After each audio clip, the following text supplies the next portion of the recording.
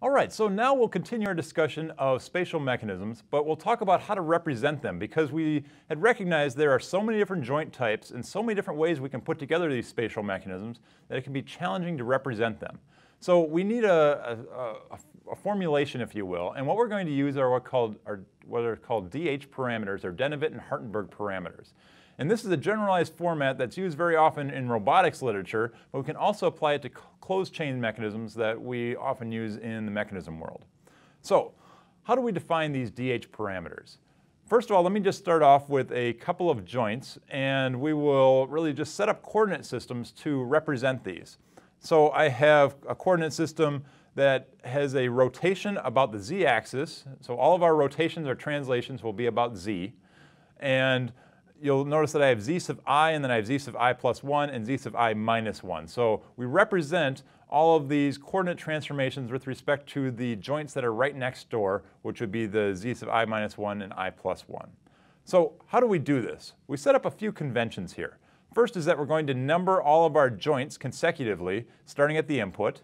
So we can have all of our joints, we'll number them, and then we'll choose our joint um, axes such that our x's are perpendicular to the previous z and the current z. So you'll notice that x sub, um, x sub i, which is right here, this is perpendicular to the current z, which is z sub i, and z sub i minus 1. So that is perpendicular to both of those two.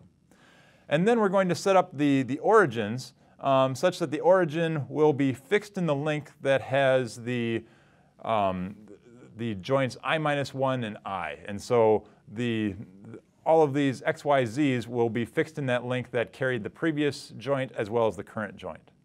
And then the final thing is that once we go to this closed chain, we're going to have joint 1 reference the very last joint. So if it's a 4-bar mechanism, we'd have joint 1 referencing joint 4 and move around our mechanism that way. All right, so this is not simple, but you do a little bit of practice and it becomes, becomes a little bit easier to do. Now, how do we describe the, the uh, basically taking one coordinate system, moving it to the next one, as well as any variables that we have in our mechanism? What we use are a set of four parameters. And two of these can be variables, which happen to be rotation about the z-axis, which we represent with theta, as well as translation along the z-axis, which we represent with s. So the a and the alpha um, variables, we use, simply, we use those simply to get from one coordinate system to the other, whereas the other two can be variables. So you'll notice that we first of, have, first of, all, first of all have a distance along the x of i plus 1, and then we have an angle from one z to the other, so basically rotation about the x sub i plus 1. And then we have the theta sub i plus 1, and this is um, basically rotation about z. And then we finally have translation along z, which is the s. So with all of that said, I think it's easiest to see how this all comes together in an example. So let's do an example of this.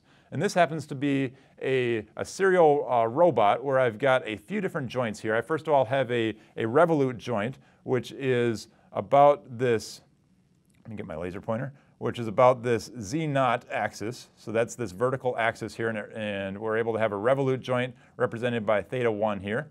Our next revolute is this axis right here, which is represented by Z1. And then finally, another revolute right here with Z2. And notice that we have Z3 then pointing out along this axis here, which might allow us to have a prismatic joint that is traveling along there, or perhaps another revolute that maybe is a wrist joint or something else. But we're, we're not representing that at the moment. Instead, we have three joints we're going to pay attention to. So let's use these DH parameters to describe this mechanism. So starting off here, um, what I'm going to do is create this table down here. And this table will basically be saying, as I move from, as I have joint 0 moving from link 0 to link 1, how do I describe the, the A, the alpha, the theta, and the S? So that's what I want to define. And then once I have all those, I'll put those into a, a 4 by 4 matrix that we'll talk about in just a moment. So let me start off and start to define these. So first of all, I look at the A, and the A is the, the distance along X from the uh, current, uh, I'm sorry, from the previous Z to the next Z. So as I look, I've got Z0 and I've got Z1, and I notice that as I, as I go from one to the other, I really have no distance between them because they are intersecting. So the distance along x1, you'll notice that x1 is intersecting both z0 and z1, so this value would be 0. And we find that quite often we can get a lot of these also uh, a lot of these in our DH parameters to be 0. Now our alpha angle, this is the angle that is the, the rotation from z sub i to i plus 1. So we're going from z0 to z1. So this is the rotation about x1. So I use a right-hand rule where I put my thumb down x1 and I look at the rotation from uh, z0, which is pointed up in this case, to z1, which is pointed the other way. So I could look at it as a 270 degree rotation or a minus 90 degree rotation. And that's why it's important to be you know, paying attention to the right-hand rule that the, the direction is important. So this will be a minus 90 degrees. And then we look at theta, which is the uh, angle of rotation here, and this is the angle of rotation about z0. And in this case, we're representing this with what's labeled as theta 1. And the way that we're measuring this is from z, I'm sorry, x0 to x1. So x0 in this case is pointing off and to the right. x1 is pointing, you know, to the, to the left sort of, and so it would be about 90 degrees as where it is drawn right now. And finally, we have s, which is the distance along z from the previous x to the, the x plus 1. So that's this vertical distance from x0 down here up to x1. That vertical distance is labeled d1. So that would be the DH parameters for, for that case. Now, as we look at this going from now um, 1 to 2, now we can do the same thing where a is the distance along x2 in this case. So we look at how far are we traveling along x2. x2 is out here, and so we're traveling from z1 out to z2 along that distance right there, and that is labeled as L2. So we have a distance L2. And then we look at what is the alpha rotation, and this is what is the rotation um, of z to, from one z to the next, and both of these z's happen to be parallel, so there is no rotation between these two. We look at the theta rotations. This is the joint angle. That's our variable in these revolute joints. So that is theta 2 as it's labeled. And again, paying attention to what is the angle here, that would be about minus 30 degrees, the way that it's drawn here, just for you to, to visualize it. And finally, the s variable, this is what is the distance along um, z1 as I'm going from x1 to x2. So in this case, that distance is labeled as uh, d2. All right, so we've got all that information, so that's that distance d2 right there. Now, we've got all that information. Let's do this finally from going from uh, 2 to 3, and my a is the distance along um, x3. So I'm looking at x3 right here, which is pointed downwards, and because it's pointed downwards, I have no distance, so I have zero. Similarly, I have alpha, which is the uh, rotation from uh, z2 to z3, and my rotation here, my z2 is pointed off to the left, my z3 is pointed up and to the right, so I do have a rotation there of 90 degrees. And how do I figure that out? Well, I use my right-hand rule again and pay attention to which way am I which way am I rotating from Z2 to Z3, and I have my thumb pointed down X3, and I'm going from Z2 to Z3. So that's my 90 degrees of rotation. I have theta, which is my joint angle, theta 3, and this is approximately 120 degrees as it's drawn. And finally, I have S, and S is a value of zero in this case because there is no distance along um, along uh, Z2 to get to um, the, the next coordinate system. So that's an example of filling out the DH parameters for these three revolute joints. We'll extend these out to some other types of mechanisms as well and treat some, some special cases that, that we'll have to deal with.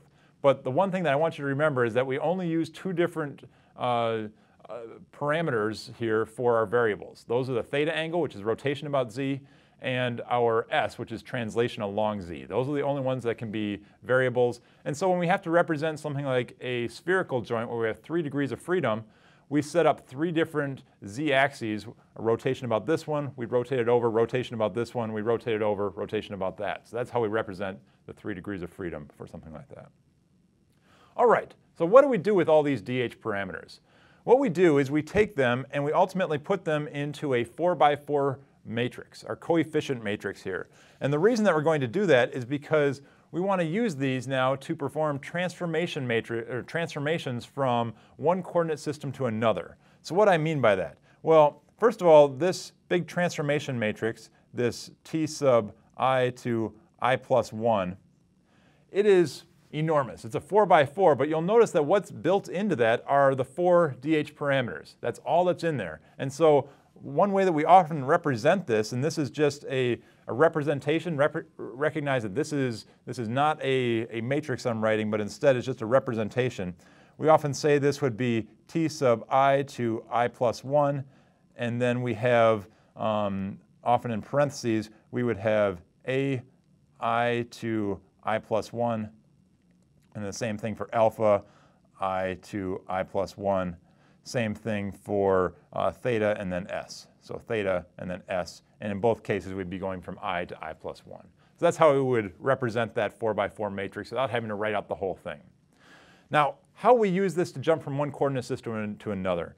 Now, imagine that I know the coordinates of a point in the second coordinate system, but I want to bring them back into the first coordinate system. So what I do is I can simply write the matrix equation that says R1 is equal to the transformation matrix from T1 to T2, and that's that big 4 by 4 that you see on top there, multiplied by R2. And why this is useful is it allows us to jump from one coordinate system to the other where I, if I know everything in coordinate system 2, and just to, just to be clear here, this R2, this would be a, uh, a coordinate system that would be x2, y2, z2, and 1. And we could then multiply that by the 4 by 4 and get the, the coordinate system in um, R1 coordinate frame. So this allows us to jump around and do this quite quickly. Now, it's very useful for a serial chain when we have multiple links connected outwards, but it's even more useful in a closed chain like what we often have in the mechanisms that we design. Why is that? Well, let me jump over to a closed type of a mechanism, which would, or a closed chain type of mechanism, which would be a spherical joint. This one happens to be a universal joint, a special type of spherical mechanism. And this is a closed chain because we're connected back to ground on both sides where we have revolute joints that are rotating in ground on both sides. we have a closed chain here. And why this is useful is that in our closed chain, we can say that R1 is equal to Rn, which is basically saying that the first and last positions are the same. And because of this, I can then use all of my transformation matrices to multiply this out and say R1 is equal to the transformation matrix T12 times T23 times however many we happen to have to Tn minus 1 um, to n, and finally going to Tn back to the first one because we're going to uh, use the, the first one uh, with respect to the last one, and multiply all of these by R1, and if that is true, which it has to be for a closed chain, then we can say that all of these transformation matrices multiplied together, these guys right here, these are all equal to the identity matrix, a 4 by 4 identity matrix, which, again, a 4 by 4 would just be 1, 0, 0, 0, 0, 1, 0, 0, 0, 0, 1, 0, and 0, 0, 0, 1. That would be our 4 by 4 identity matrix. So this is incredibly powerful to us when we are trying to do a position analysis or trying to do synthesis, but we can, because we can say all of these transformation matrices have to be, their product has to be equal to the identity matrix, and so from that we can then back out what the individual terms could be because we can force them equal to zero or one based on that identity matrix. So very powerful. So DH parameters are a little bit difficult to get the hang of at first in that they have kind of a systematic set of rules. The first piece is that you set up where your coordinate systems are, and then you define what your DH parameters are that jump you from one coordinate system to the other and have your rotations and your translations along Z. And then you can use those in these transformation matrices. And we'll use this then for synthesis in class.